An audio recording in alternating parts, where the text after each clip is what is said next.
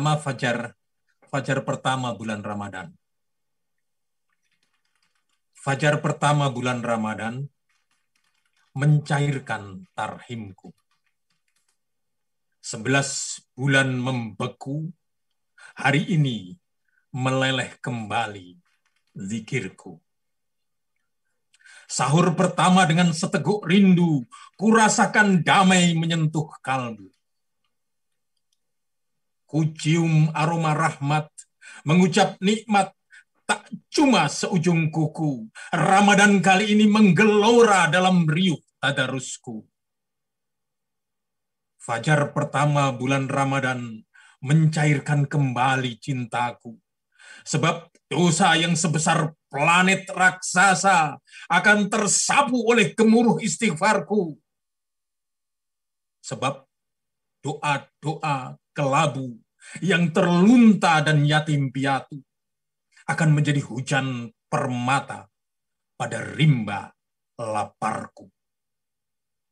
Rasa syukur ini ku bait-bait pada puisiku, sebab menziarahi rahim puasa ternyata penuh cahaya.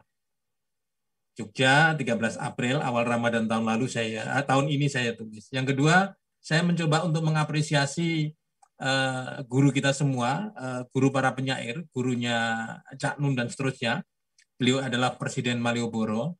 Tadi sudah uh, almarhum Radar dan seterusnya sudah diberi apresiasi. Saya akan mencoba untuk membaca di lembah pujian kepada Umbulan Duparanggi. Di lembah pujian engkau menatap malam. Menenun kata, memanah rembulan. Menenggak puisi dalam anggur keabadian.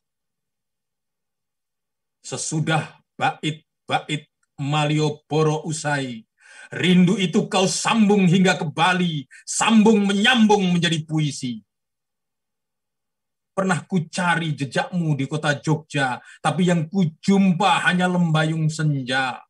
Dalam jantung persada dan terik sabana, sidik jarimu menerkam makna.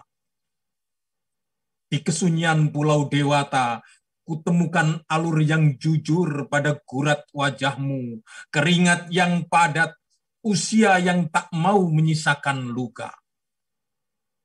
Di lembah pujian, Begitu erat engkau merangkulku, membisikkan bait dan doa dalam cinta yang tak terbaca. Aku pun tersenyum merayakan keindahan itu. Tari, kecak, dan sekuntum saja menyalakan api dalam riuh rinduku. Yang terakhir, untuk menutup semua, saya mencoba untuk membaca apa yang tadi oleh Bang Sem di awal disebutkan bahwa kematian itu sesungguhnya adalah babak baru. Kematian itu menghidupkan. Jadi pada jiwa-jiwa yang sempurna, yang mempunyai sukma, yang memang sudah diizinkan oleh Allah untuk kembali kepadanya, maka sukma-sukma itu akan berada di tempat yang paling pantas sesuai dengan amalnya. Kematian itu menghidupkan.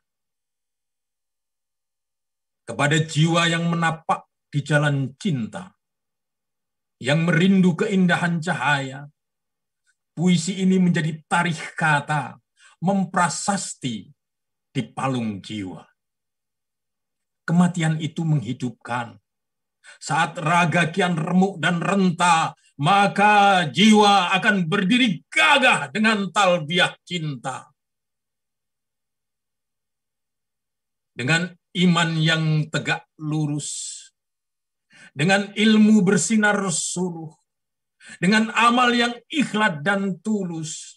Raga hanya tengkorak yang akan sirna, sedangkan ruh akan semakin menyanyikan orkestra.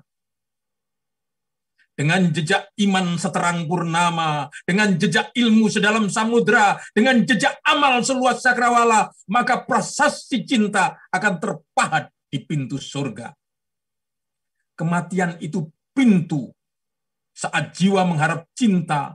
Kematian adalah gapura bagi ruh yang rindu cahaya. Assalamualaikum warahmatullahi wabarakatuh.